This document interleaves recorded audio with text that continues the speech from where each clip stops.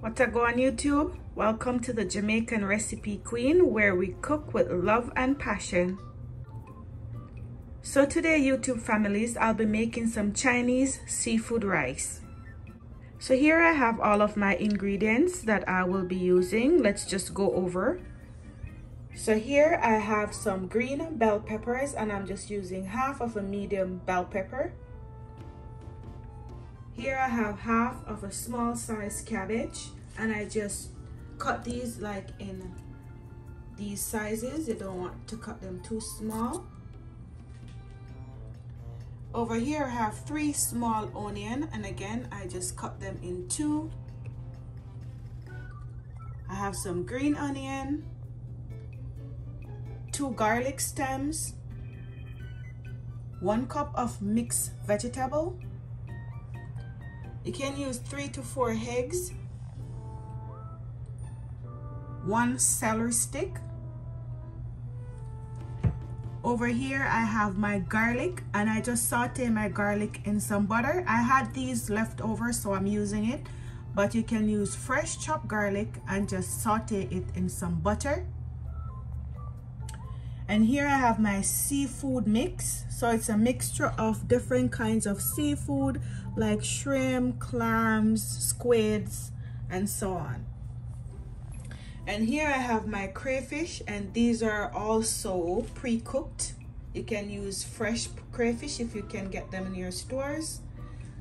I have some chili flakes, some garlic pepper powder, my Worcestershire sauce, soy sauce, and my olive oil. And last but not least, we have our white rice. And this is jasmine rice. I'm using three cups. You can use any rice of your choice. Okay, so the first thing we want to do, we want to put on our rice to cook. So we're just going to wash our rice and we're going to put it in our rice cooker. Okay, so I've washed my rice and I've placed it in my rice cooker. Now I'm going to go ahead and I'm going to add our water. Okay so I ended up adding two and a half cups of water because it's jasmine rice so you have to be careful when you're cooking jasmine rice. And now I'm just going in with a tip of olive oil just about one tablespoon.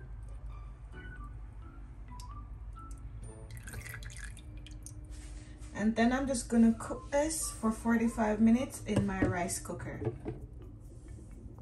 okay so here i have the wok on the stove and i'm just going to allow this to heat up and then we're just going to add some margarine or butter to the pot. So this is when you want to add your chopped garlic okay? So you add your butter about a tablespoon or two and then you add your chopped garlic and you saute that for two minutes. Since i already had some prepared i'm just going to use this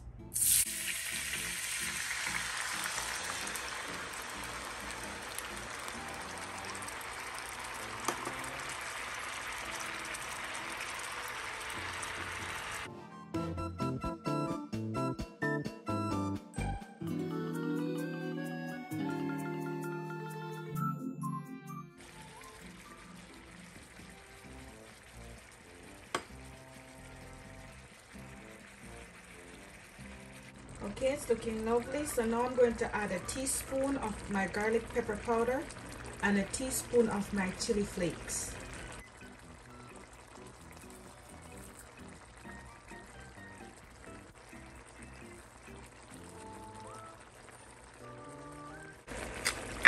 So we're just going to turn this up.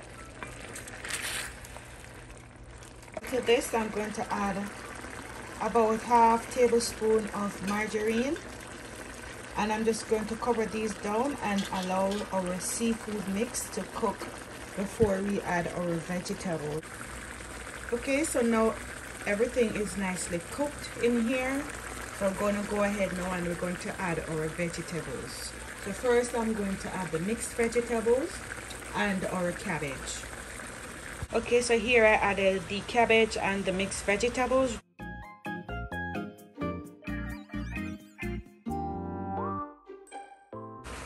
okay so we're going to add our Worcestershire sauce and our soy sauce and I added 2 tablespoons of the Worcestershire sauce and 4 tablespoons of our soy sauce.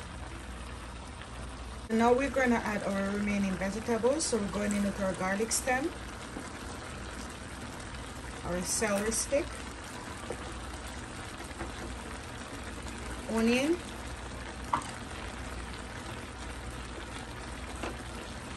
and our green bell pepper. You can use red or orange or you can mix them as well.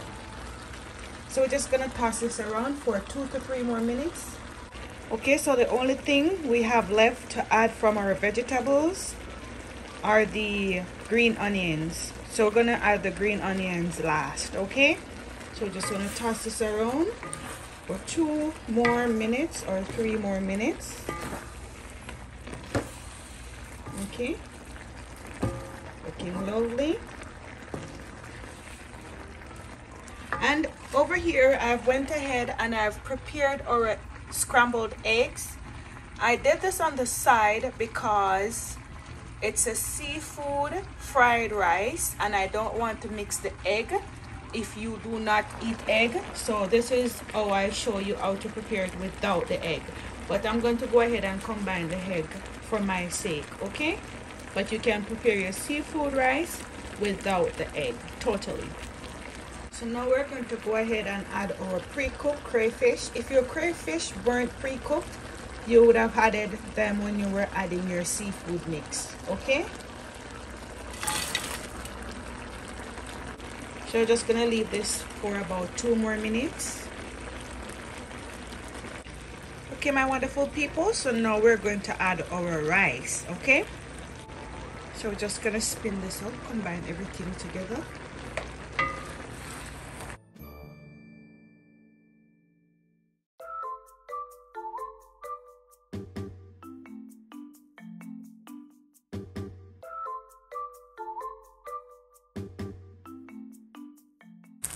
okay so everything is nice and combined. It is done. It is ready.